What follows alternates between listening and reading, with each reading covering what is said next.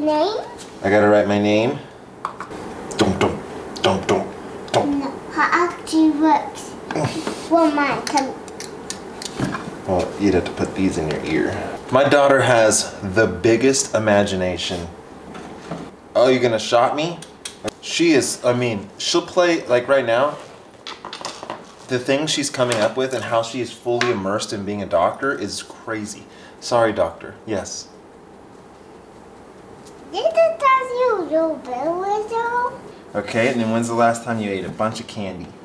Uh, I'm not eating any candies. Yesterday you didn't eat any candies? No? She's a little liar, dude. All right, so today we're going to go for a, a pretty big adventure ride. I'm actually thinking I might go gravel. There's a, a new gravel road I've never done before. Uh, I'm thinking I might do that. It's rainy outside, it's cold outside, but I, I'm like traumatized from the trainer at the moment. I don't want to ride the trainer at all. The, the plan today calls for four hours free ride. Get out, ride however you feel, just get in volume. Uh, four hours. That's what I'm trying to do. I can definitely do that.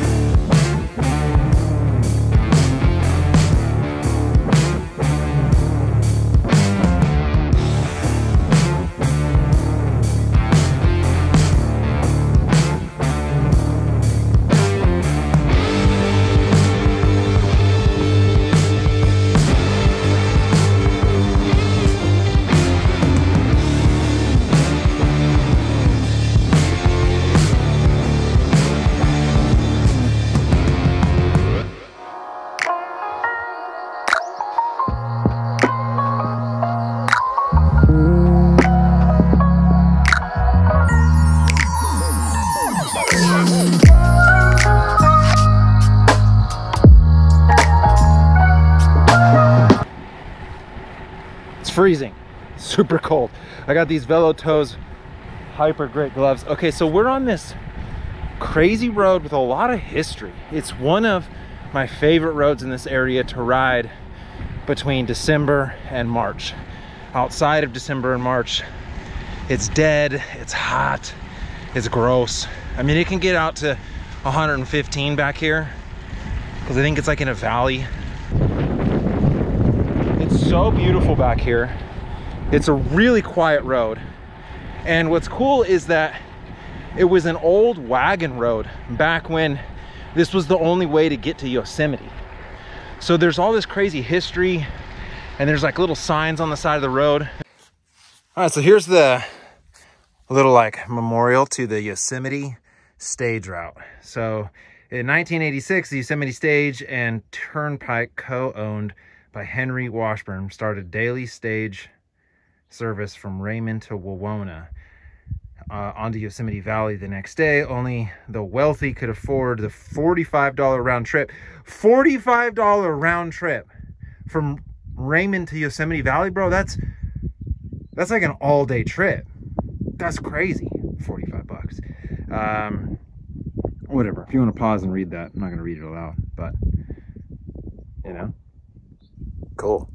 So there's these signs that kind of litter around here that talk about the history. And one of them that's really cool says that there was this uh, bandit group, right, of thieves, and they would rob the bank transports along this road back in like the 1700s, right?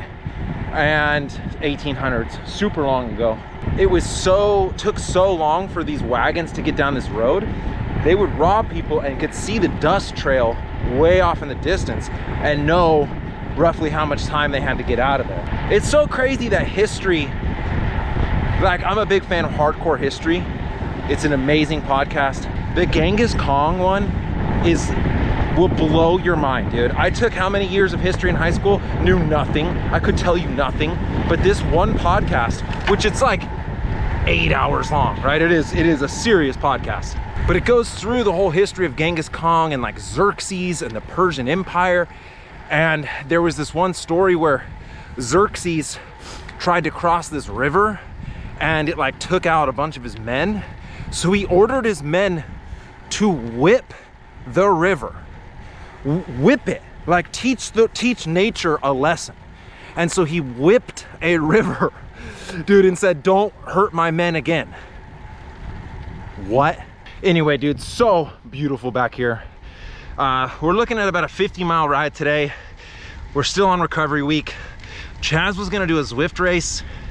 I wanted to jump on so bad, but I'm really trying to stick to the program, really trying to recover. Today, my form is positive, which is nuts.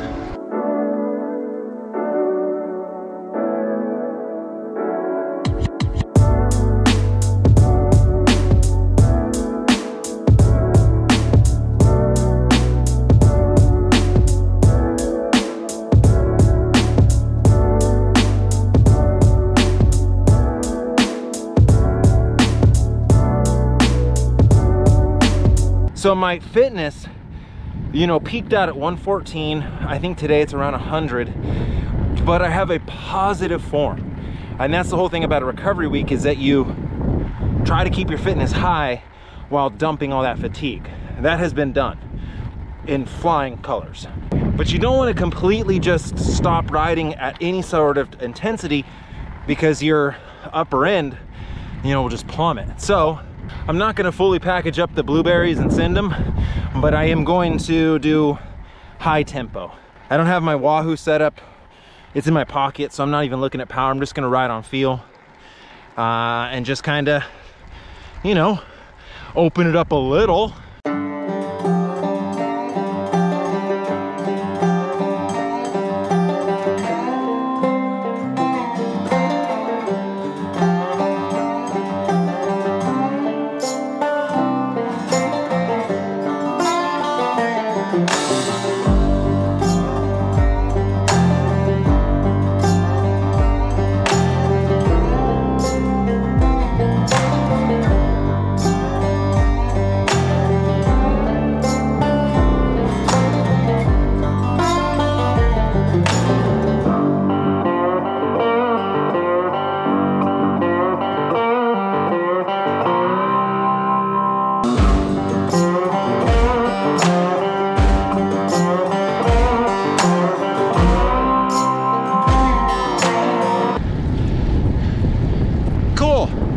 That was a super fun road.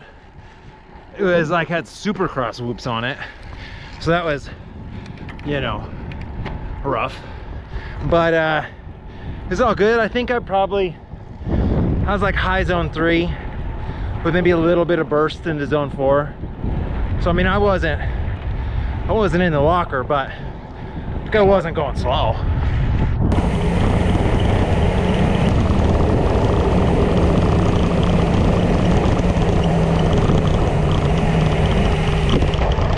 It's so cold. I hate being cold. I'd rather be on fire than even slightly cold. I mean, I've got thermal leggings, a thermal base layer, a thermal long sleeve, a thermal jacket, thermal gloves. These Velotoze gloves are amazing. Just uncomfortable. I just love being hot. Like 110 degrees, sign me up, dude. 62 with like a cloud in the sky, I want a Zwift. But with that being said, today was an absolute ripper and I quite enjoyed today.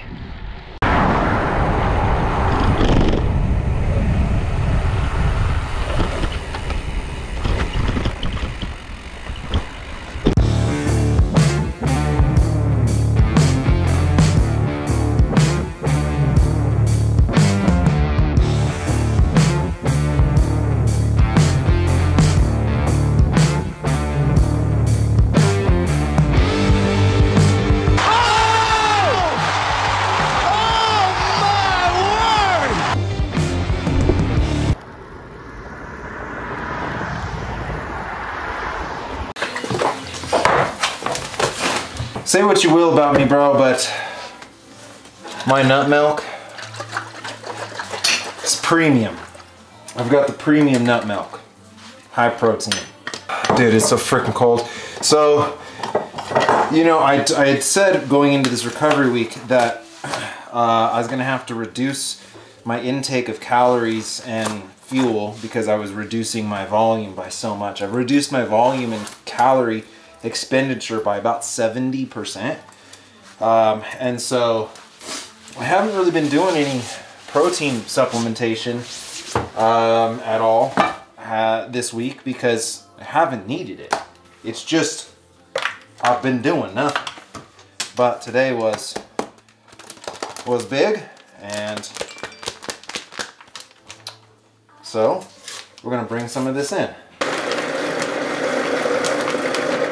That was a great ride. I was really hard to get out the door because it was just raining and then finally the sun came out and I still had all these excuses about why I wasn't gonna go out and then Chaz was gonna do a race and he was gonna live stream it and I was like, oh, that sounds like so much fun. But I'm really happy I stuck with the program, to be honest. Uh, you know, in the last two months, the gains that I've seen by sticking to a structured program, fueling right, and being consistent, it's, I mean, the proof's in the pudding. Vegan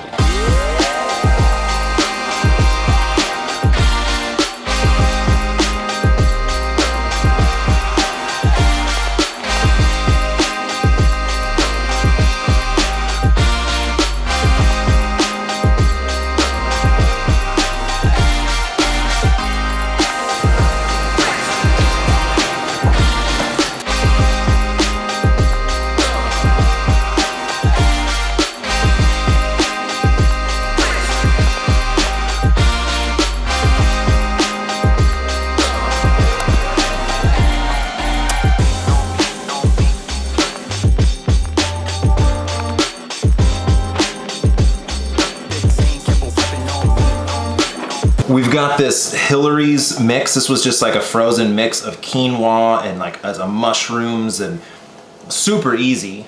This is what it is, the Hillary's Organic Savory Mushroom Whole Grain Melody. Delicious melody. Uh, 12 grams of protein in one bag. We used two. So with the, the veggies and stuff like that, probably 30 grams of protein in that. I personally need to do a better job of supporting my wife with some of these small things, uh, cleaning the kitchen and just little little tiny things that I just don't think about. I've already talked a lot about in this vlog that she does a lot of things that I don't even think about. So it's hard for me sometimes to know what I need to do to support her when I don't really even know a lot of the things she does. So when I was asking my wife what seemed maybe like I'm asking for affirmation, I'm asking, how am I doing? Because I need to know is my perception match up with her perception? And it didn't. She said some things that I felt like, well, that's not what I thought. Yeah. You want some juice? Okay. It's uncomfortable to hear things about you that you don't necessarily agree with, but that's how you change. That's how you adapt. That's how you grow. It's uncomfortable, but you have to do it sometimes. And so basically what we just did uh, because I felt like obviously I want to stay married. Here you go, baby. Two.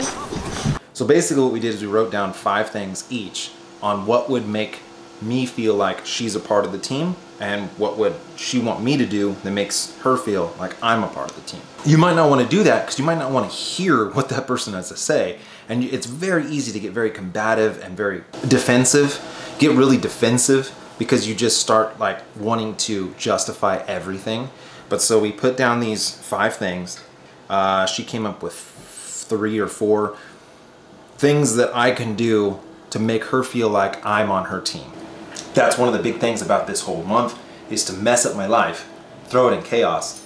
And so then she can maybe feel a little more comfortable articulating or that, that it exposes some cracks. You can always like cover up the cracks a little bit uh, and you can do a lot of things, but if you don't address them, those cracks can really destroy a relationship over time.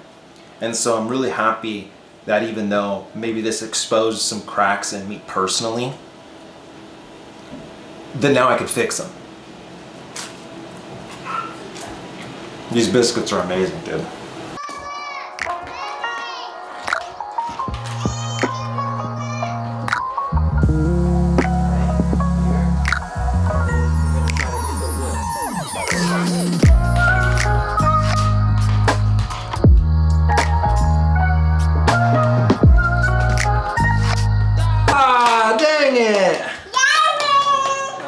I'm going for it. I'm gonna score. I'm gonna score. One thing that I don't think I said today is that because I didn't edit a video yet last night, like proper, like it was just the conversation between me and uh, and the missus, Kristen, is that I got in bed at, at 10 and then I got nine hours of sleep, oh, a little over nine hours of sleep.